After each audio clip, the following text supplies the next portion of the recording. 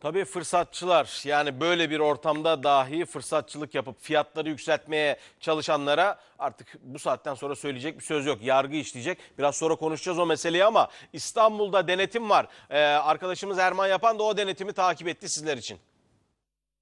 Merhabalar Mustafa Yıldız. Odak noktamız tabii ki bu fiyat e, fırsatçılığı yapanlara, koronavirüsü fırsat bilip kolonyaları, makarnaları, dezenfektanları yani o deterjan ürünlerinde fahiş e, fiyatları arttıranlara yönelik denetimler hız kesmeden devam ediyor. Tabii ki topyekün e, koronavirüsle, virüslerle mücadele ediyor. Sağlık Bakanlığı başta olmak üzere tüm bakanlık, vatandaşlar, hijyen kuralları ön planda şu son günlerdir. Gerçekten ellerimizi yıkamadığımız kadar yıkamaya başladık ama onun dışında vatandaşlar biliyorsunuz bayramlarda dahi olmadıkça o kolonyalara yöneldi. E, öyle olunca da kolonyaların fiyatları arttı. Sosyal medyadan görüyoruz, internetten görüyoruz. E, vatandaşlar şikayet ediyor. Mesela şu an İstanbul Gazi Osman bulunuyoruz biz ve bulunduğumuz markette maalesef kolonya bulunmuyor. Kolonya bulunmasa bile e, ona benzer e, tabii ki e, ürünler e, mevcut. İşte o ürünleri vatandaşlar gönül rahatlığıyla alsın. Daha önceki e, fiyat artışlarıyla şimdiki e, fiyatları karşılaştırılıyor. O yüzden e, İstanbul'da Gazi Osman Paşa Belediyesi zabıta ekipleri hummalı bir şekilde çalışmalarına devam ediyor. E, yanımızda e, bir konuğumuz var. E, zabıta amirimiz. E, isim neydi efendim? Şevket Aydın. Şevket Bey. e, şu an markette ne yapılıyor vatandaş için? Ee, bu malum koronavirüs salgını dolayısıyla özellikle e, kolonya ve kozmetik ürünlerde fahiş fiyat artışı söylentisi dolayısıyla e, denetimlerimizi başlattık. Gaziosmanpaşa ilçesi e, zabıta müdürlüğü olarak. E, yapmış olduğumuz denetimlerde de burada yine bir kozmetik ürünün üzerinde birim fiyatı olması olması gerekirken olmadığını gördük.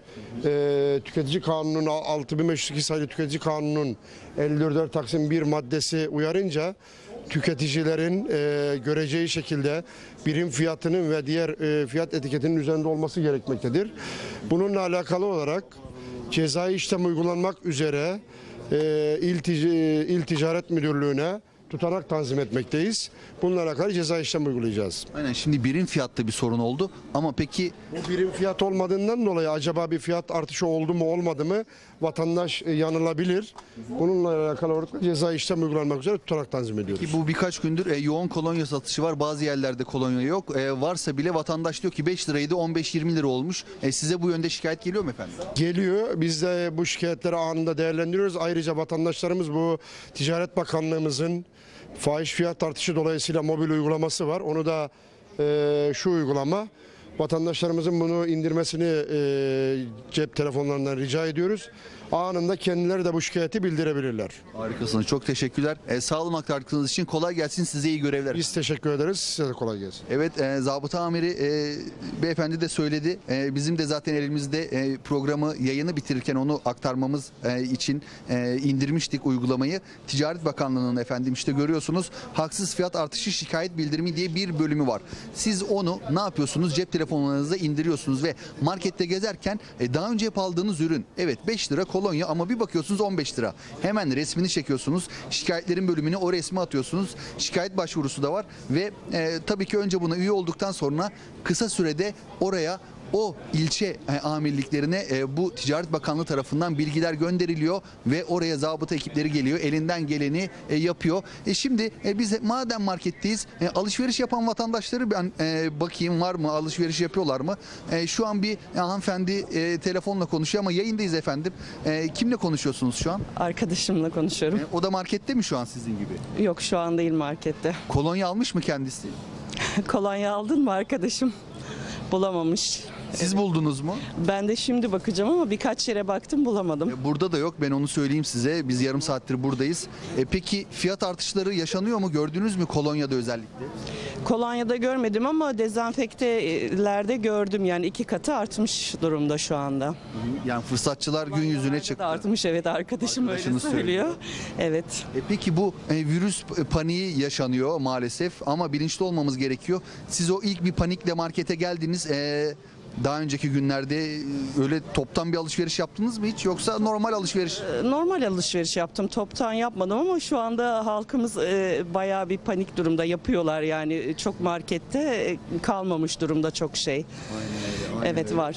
E, sizi de bulmuşken çok kısa soralım. E, bir aile bireyi olarak Yani bu virüsten nasıl korunacaksınız?